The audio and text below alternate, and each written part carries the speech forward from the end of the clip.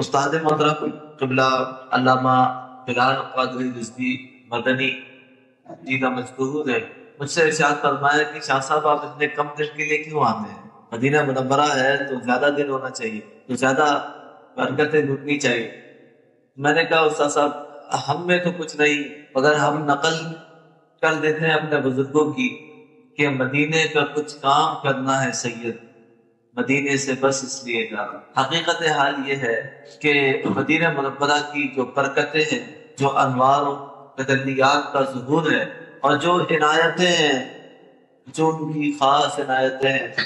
اور یوں سمجھیے کہ ہم غلامان مصطفیٰ صلی اللہ تعالیٰ علیہ وسلم پر گناہ کاروں پر سیاہ کاروں پر جو حضور کی عطائیں ہیں، وہ اتنی ہیں کہ بندہ جب مدینے داخل ہو تو واپس نکلنے کا جینا چاہے۔ اللہ تعالیٰ نے بارہا یہ سعادت مجھے نصیب فرمائی۔ ایک صاحب مجھ سے کہنے لگے کہ حضرت ابھی تو تین چار مہینے ہوئے آپ کو آئے، آپ پھر جا رہے ہیں۔ میں نے کہا خدا ہے تو پھر جا۔ پھر میں آیا تو پھر ایک صاحب مجھ سے کہنے لگے کہ حضرت ابھی تو کچھ عرصہ ہوا تھا۔ تو آپ پھر ہو کے آ گئے۔ میں نے کہا، آپ فکر نہیں کریں، میں یہ درخواست لگا کے آیا ہوں کہ ہر مہینے حاضری ہو جائے۔ یہ جو مدینہ مرکزہ کی بات ہے۔ ہر مہینے حاضری ہو جائے۔ وہ تو یہ ان مالکوں کی بات ہے جو وہ نوکر کو قبول فرماتے ہیں۔ یہ نوکری انہیں کی لگائی ہے۔ بس یہ لگی ہے سید الشہداء امیر طیبہ فائل الخیرات معاشت القربات۔ سیدنا امیر حمزہ رضی اللہ تعالیٰ کی بارگاہ میں جب میری حاضری ہوئی اور آپ تمام طلبہ کے لیے دعائیں ہوئی اساتذہ کے لیے، اور جتنے رفقا ہیں سب کے لیے دعائیں ہوئی تو میں نے سید الشہداء سے یہی عرض کی کہ اے سید الشہداء، یہ جو نوکری لگی ہے، اسے لگے رہیں بس ہم دین کی خدمت کرتے رہیں، اور وہ خدمت کریں دین کی جو آپ نے کی ہے۔ آپ کی نقل ہمیں کچھ عطا فرما دے۔ حضرت امیر طیبہ رضی اللہ تعالیٰ عنہ جب مسئلہ میں میدان میں اترے ہیں تو آپ کے دونوں ہاتھوں میں کلمہ ہے۔ دونوں ہاتھوں میں زور سے بولے دونوں ہاتھوں میں تلواریں لے کر سید الشہداء اسلام کے لیے جہاد کر رہے ہیں۔ وہ جو جہاد فی سبیل اللہ کا کی جو اصل ہے اور جہاد فی سبیل اللہ کی روح ہے، سید الشہداء سے میں اپنے لیے بھی، اساتذہ کے لیے بھی اور خاص طور پر آپ کے لیے وہ مانگ گیا ہے ایک صاحب مجھ سے کہنے لگے، میں نے کہا، مولانا، اس کا حوالہ تو لائیے۔ تو انہوں نے پھر فوراً حوالہ پہ نکال کے دیا۔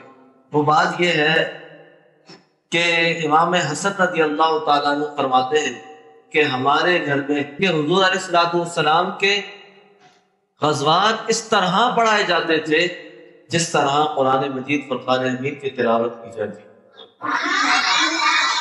تو انشاءاللہ یہ جامعہ طاہر اشرف میں حضور کے غزوات بھی اسی طرح پڑھائے تھے۔ آپ پڑھیں گے نا انشاءاللہ؟ پھر انشاءاللہ جب آپ سارے وہاں حاضر ہوں گے نا، تو مدینہ منورہ کی ایک ایک جگہ کا آپ کو معلوم ہوگا۔ اس جگہ پہ اس صحابی کا مدار ہے، اس جگہ پہ یہ زیارت ہے۔ اس جگہ پر رسول اللہ علیہ السلام یوں تشریف لے گئے تھے اور یہ مسجد زرا ہے یہاں پر حضور نے اپنی زرا مبارک اتاری تھی۔ یہ مسجد استراح ہے جہاں حضور نے تھوڑی استراحت فرمائی تھی۔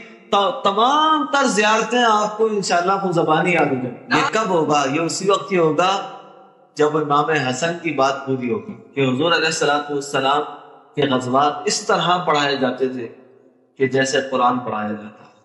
انشاءاللہ۔ اللہ رب جلال ہم سب کو جہاد فی سبیل اللہ کی توفیق نصیب فرما یہ قرآن پڑھنا، قرآن سننا، قرآن پڑھانا، یہ تمام تر چیزیں، یہ تمام تر محنتیں، یہ سب اسی لیے ہیں کہ ہم رسول اللہ علیہ السلام والسلام کے دین کو غالب کریں۔ جتنے سعودی ہیں، وہ کوشش کرتے ہیں میلاد کو روکیں۔ کوشش کرتے ہیں میلاد کو روکیں اور سب کو منتشر کریں۔ جتنے اشاقان رسول صلی اللہ علیہ وسلم آئے ہیں سب کو منتشر کریں۔ مگر اس دفعہ میں نے اپنی آنکھوں سے مشاہدہ کیا کہ حضور کے چاہنے والوں کو حضور کے محبت کرنے والوں کو کوئی روک نہیں سکتا۔ کوئی روک نہیں سکتا۔ آپ نے باہر روک دیا گنبد خزرا کے نیچے گنبد خزرا کے سائے میں۔ آپ نے روک دیا وہاں سے بند کر دیا کوئی بات نہیں۔ وہ شاقان رسول آپ کو اندر ملیں گے۔ آپ یہاں سے روکیے، وہ وہاں ملیں گے۔ آپ نے محافل کا منع کر دیا۔ بلکہ جو سعودی ہیں، وہ جو محافل منعقد کرتے تھے، ان میں سے بھی کتنوں کو آپ نے ملک بدر کر دیا۔ کہ جی یہاں محفل ہوتی ہے۔ اتنی سختی۔ تو کوئی بات نہیں، حضور کے اور شاخ اپنے ہوٹل کے کمروں پہ بھی معامل کر۔ حضور علیہ السلام کے شاخ کو کوئی روک تو نہیں سکتا نا؟ آپ نے محفل میلاد منانے کو منع کیا تو حضور علیہ السلاۃ السلام کے شاخ نے لنگر بھی تقسیم کرنا شروع کر اور وہاں کے لنگر کی تو بات ہی کچھ اور ہے۔ مدینے کے لنگر کی تو بات ہی کچھ اور ہے۔ علامہ حمدہ صاحب کے ساتھ ہوٹل میں بیٹھا ہوا تھا۔ ہوٹل تھا، اس کے نیچے لابی میں میں بیٹھا ہوا تھا۔ ہم لوگ کچھ ڈسکشن کر رہے تھے اسی معاملے پر۔ تو اچانک سے ایک صاحب آئے، انہوں نے ہمیں ہمارے چہرے دیکھے اور تھیلی سے دو لنگر کے پیکٹ نکالے اور ہمیں دے دی مالک کھلاتے ہیں تو ایسے کھلاتے ہیں۔ نہ ہمیں جانے کی ضرورت پڑی نہ ہمیں کسی سے کہنے کی ضرورت پڑی نہ مانگنے کی ضرورت پڑی۔ کیوں؟ کیونکہ حضور کی بارگاہ میں جا کے کس سے مانگے؟ حضور کی بارگاہ میں۔ تو مالک تو ایسے کھلاتے ہیں کہ ہم اپنی جگہ پہ بیٹھے ہوں وہ بانٹنے والوں کو بیچتے تھے بھائی یہاں بھی ہمارے غلام بیٹھے ان کو ملے اور اتنا لنگر اتنا لنگر کہ ہم نے بھی لنگر بانٹ بانٹ کے جی سبحان مزہ یار اور جتنا دیں گے اتنا ملے گا۔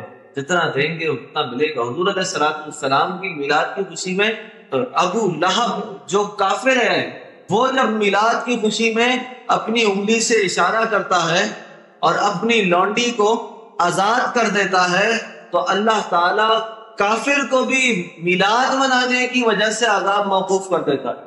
اور جب بندہ مومن میلاد منائے تو کیا بات میلاد منائے وہ مدینہ منورہ میں منائے سبحان اللہ، میری یہ دعا ہے کہ اللہ رب الجلال ایک مرتبہ زندگی میں کم سے کم ایک مرتبہ بارہ ربیع الاول مدینہ منورہ پہ نصیب پر ویسے تو حاضریاں ہوتی رہے گی ان شاء اللہ ہوگی نا حاضری بیٹا، ہمیشہ یقین رکھو کہ بس میری حاضری ہونے والی ہے۔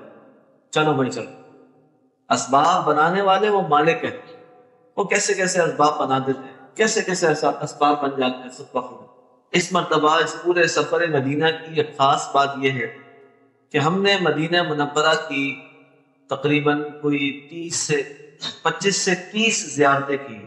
عام لوگ جو زیارت کراتے ہیں، وہ زیارت کیا ہے؟ وہ زیارت یہ ہے کہ مدینہ منورہ میں جہاں حضور علیہ السلاۃ السلام نے قیام فرمایا، وہاں مسجد بن گئی۔ جہاں حضور کی کوئی صحابی تشریف لے گئے وہاں مسجد بن گئی۔ جہاں حضور نے دعا فرما دی وہاں مسجد بن گئی۔ تو یہ ساری زیارتیں ہیں کہ حضور علیہ السلام السلام کی حیات مبارکہ کا مدینہ مربرہ میں کوئی بھی ایسا واقعہ ہوا جو ایک اہم حیثیت رکھتا ہے۔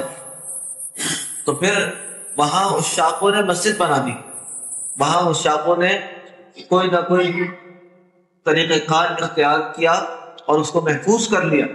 اس دفعہ ہم نے اس میں سے تقریباً پچیس سے تیس، ابھی تک میں نے گنتی نہیں کیا۔ مجھے، میرا اندازہ ہے پچیس سے تیس زیارتیں۔ عام زیارت والے ہوتے ہیں نا، وہ پانچ زیارتیں کرا کے مسجد قبا، مسجد قبلہ تین اور شہدا اور تین، چار اور زیارتیں، کوئی پانچ، چھ زیارتیں کروا کے ختم کر دیں۔ مگر جب ذوق ہو نا اور مالکوں نے بلایا ہو تو پھر یہ ہوتا ہے کہ ہم نے اپنے استاد محترم سے عرض کی کہ آپ کچھ حساب کتاب بنائے ہم چاہتے ہیں کہ ساری زیارتیں ہمارے استاد محترم نے مدینہ منورہ کی زیارتیں ڈھونڈی ہیں۔ جا جا کے سفر کر کر کے۔ اور جو کتابوں میں پڑھا ہے، پھر اس کو جا کے دیکھا بھی۔ اور اب تو انہوں نے زیارتیں سعودیوں نے کھولنی شروع کر دی۔ اور وہ تقریباً وہ کوئی چھ گھنٹوں میں، کوئی چھ گھنٹوں میں ہم نے یہ بیس سے پچیس سے تیس زیارتیں کی۔ اس میں سب سے بہترین زیارت، ویسے تو ساری ایک سے ایک ہے جب حضور علیہ سلاۃ والسلام غزوہ احد کے موقع پر رسول اللہ صلی اللہ تعالی علیہ وسلم پر کفات نے حملہ کیا، تو حضور علیہ السلاۃ والسلام صحابہ کرام کو لے کر اوپر پہاڑ کی طرف تشریف لے کر۔ اور جب وہاں پر پیارے آقا علیہ السلاۃ والسلام نے استراحت فرمائی، تو پہاڑ کا جو پتھر تھا، جو چٹان تھی، اس نے اپنے سینے پر حضور علیہ السلاۃ والسلام کے سر مبارک کا نشان لے لی پورا ایسا نشان بنا ہوا حضور کے سر مبارک کا۔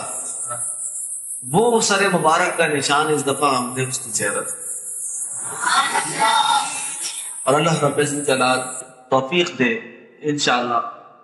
وہاں جو بھی جائے، میری تو یہ خواہش ہے کہ جو ذوق والے ہیں نا، پھر ان کو ساری زیارتیں کرائیں۔ چھ گھنٹے کیا بارہ گھنٹے بھی لگ جائیں تو پورا مدینہ دکھا دیا پورا مدینہ دیکھ دے ادھر یہ زیارت ہے، ادھر وہ زیارت ہے۔